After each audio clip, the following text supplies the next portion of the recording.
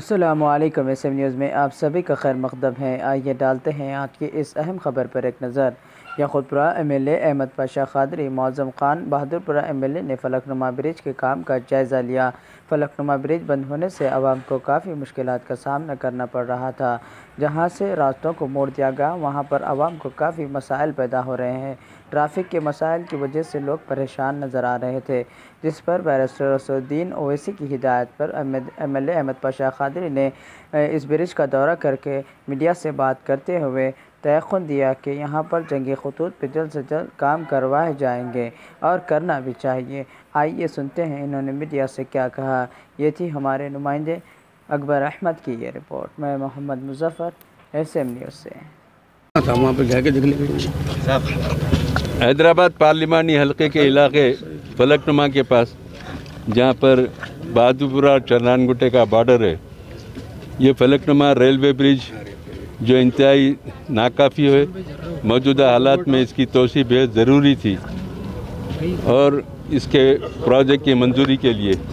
हबी मिलत अकबरुद्दीन अवैसी साहब, कायदे मुखना मजलिस पार्टी ने हुकूमत से नुमाइंदगी की और उसकी कामयाब नुमाइंदगी के नतीजे में काम का आगाज़ हुआ। नकीब मिलत बैरिस्टर असदुद्दीन अवैसी साहब, सदर मजलिस रुकन पार्लियामेंट की हिदायत पर। जनाब मोदम खान साहब, बहादुरपुरा एम और बहादुरपुर के कॉरपोरेटर्स चंद्रान गुट्टे कॉरपोरेटर्स इस ब्रिज के काम का मुआयना कर रहे हैं। सदर साहब की हिदायत है कि यहाँ के मुकामी लोगों को कुछ शिकायतें हैं तो ऑफिसरों से बात कर, शिकायतों को दूर कर, करना चाहिए। बहरहाल काम चल रहा है, ट्रैफ़िक का डिविजन हुआ है, ट्रैफ़िक के लोग बंदोबस्त कर रहे हैं, और पूरे बैनर शूटिंग लगा के ट्रैफ़िक को मोड़ दिया गया है। काम यहाँ चंद्रान गुट्टा ब्रिज पे जो बहादुरपुर के एरिया से चल रहा है, उसको बाजू फारूक नगर से उसके ट्रैफ़िक को का रुख मोड़ दिया गया है। वो औरम गड्ढे की तरफ़ से निकल के वो मेन रोड पे जाएँगे। फिर उधर से पलट के उप्पूगुड़े से जो रोड आ रही है, वहाँ पर भी जो सो ट्रैफ़िक को मोड़ दिया गया है। वहाँ के लोगों की कुछ शिकायतें मालूम हुआ कि ट्रैफ़िक बहुत जाम हो रही है।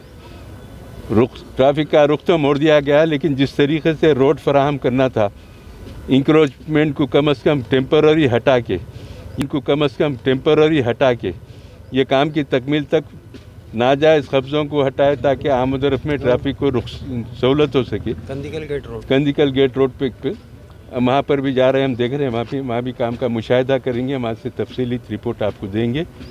बहरहाल सर साहब की कोशिश ये है कि लोगों को किसी किस्म की तकलीफ़ ना होने पाए।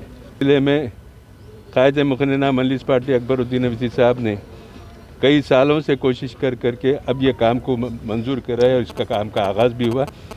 इन गुत्तेदारों के एग्रीमेंट के मुताबिक ये मालूम हुआ है कि छः महीने के अंदर ये काम की तकमील होगी और उसके बाद लोगों को यहाँ पर इससे इस्तेफादे का मौका मिलेगा। लेकिन जंगी खतूत पर अगर रफ्तार रहे काम की तो यकीनन छः महीने में कंप्लीट हो सकता है, करना भी चाहिए।